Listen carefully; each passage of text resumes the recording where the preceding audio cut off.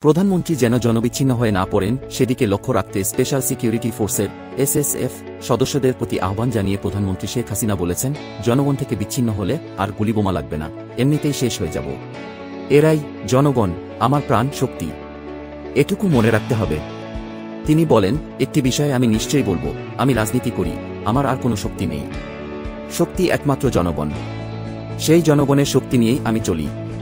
কাজেই জনবিচ্ছিন্ন যাতে না হয়ে যাই। আমি জানি এটা কঠিন দায়িত্ব। তারপরও এদিকেও নজর রাখতে হবে যে এই মানুষগুলোর জন্যই তো রাজনীতি করি। মানুষদের নিয়ে তো পথ চলা। আর যাদের নিয়েই দেশের মানুষের কাজ করি, তাদের থেকে যেন কোনো মতে বিচ্ছিন্ন হয়ে না যাই। নতুন সব সংবাদ সবার আগে জানতে শীর্ষ খবর চ্যানেলটিকে সাবস্ক্রাইব করে সাথেই থাকুন সব খবর এখানেই।